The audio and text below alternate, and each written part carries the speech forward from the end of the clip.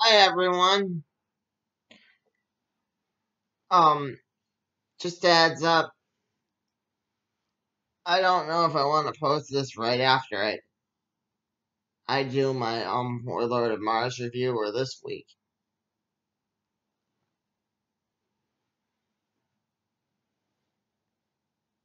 Anyway, I hope you all enjoyed the space launch and my thoughts on it. They went to the um spa- when they went to the space station.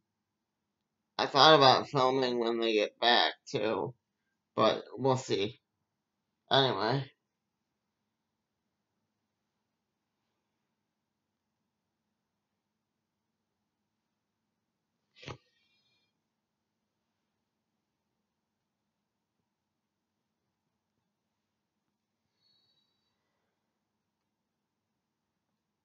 On to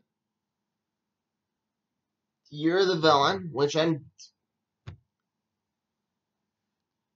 I'll, I'll get into it when I get into the file. Um, this is this is a, a video about all the little tie-ins. Tie-ins? Tie-ins, Dad. Oh. The tie-in issues.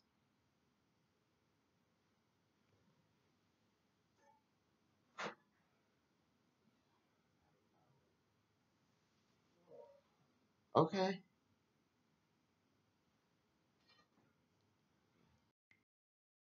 Okay. Hope you all enjoyed that guest appearance by my stepdad, Jim. Yeah.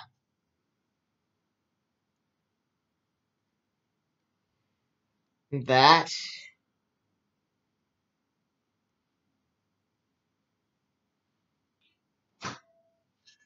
was a rare appearance. Yes. Okay. In this little offshoot, there you go. Captain Cold essentially takes over the issue. He doesn't get thrown into some um, alternate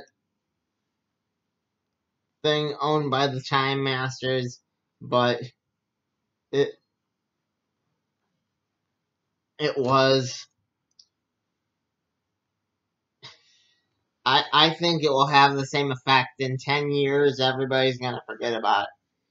I'm I'm ref I reference a episode of Legends of Tomorrow. That that they never explain but then again they, they never explain the if you look at it they never explain half of the season finales. What was up with that dinosaur? But that that's just I'd like to think that Hunter's cleaning up cleaning them all up on the side with Booster Gold. But that's a story for a that's a theory for a whole nother video. Right now we're talking about the Flash and Captain Cold. Yeah.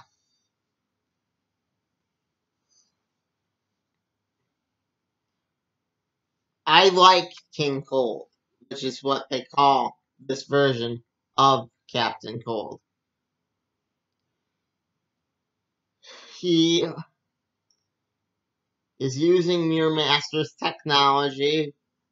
He tries to take over the city. He actually sh- shows some initiative. All of the year of the villains, I'll give them this. Definitely showed initiative from the characters themselves. And whoever thought of it definitely knew how to move the plot forward. Be it Bendis or whoever.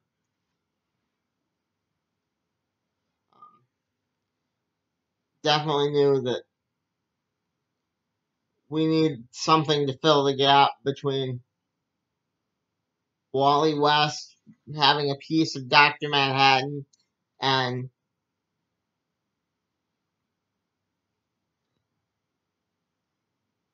and whatever they're calling um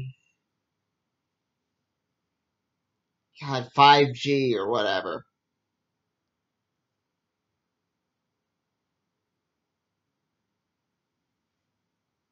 Yeah.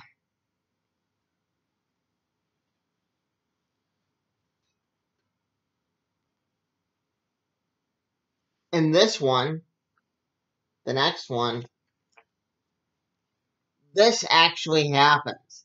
There is actually a battle between Flash and Captain Cold and Captain Cold. Or Commander Cold, whatever. He dies anyway. But it actually happens.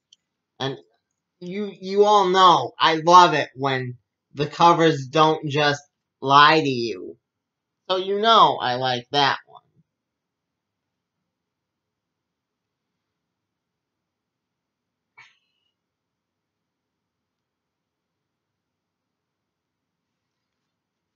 Now, I should be clear. Commander Cold, this one, doesn't die in this issue.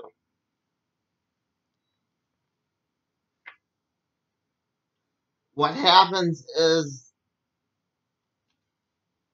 Golden Glider breaks Flash out of where he's being kept in the year of the villain thanks to Lex Luthor fused with Martian Manhunter. And that right there is why I think, as cool as this storyline is, it will be forgotten in 10 years. Because I just said the sentence Lex Luthor combined with Martian Manhunter. Because try explaining this whole storyline to a non comic book fan, you can't do it.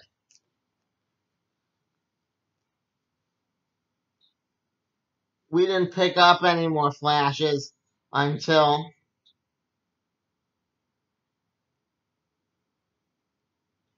it, it returned to its proper numbering. But this, they try to enlist the help of the Weather Wizard. and that's all we got on the on the um that storyline. You're the villain. That that is not the main story. I'll be doing the main story next time.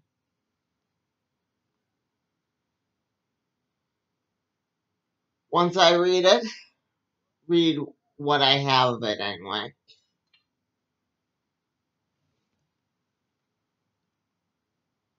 I, I'm still really excited to see how they tied up Rip Hunter. I heard they did that, and how what was up with the sigil in the sky and these fine books. That that will explain it, I'm sure. Because they were all like, "Look up in the sky, there's a sigil." they called it the night the sky went dark. Which I guess after this or during this, after or during, there was that big fight in Schuster Park in Metropolis. The um in the in the Superman comics. but I'm not sure when, if, if this is all taking place in one night or like three different nights. Because I'll get, Luthor has always been portrayed as smart, so. Yeah. This, I decided just now, will be getting its own separate video. Sorry. Will be getting its own separate video. I have a few important questions, and maybe I'll whine some more about the TV show if you if you all want to hear my theory about Legends of Tomorrow and where it's going. But that's neither here nor there. And also next time, Flash returns to its proper numbering, like I said. I'm ex I'm excited. You should be too.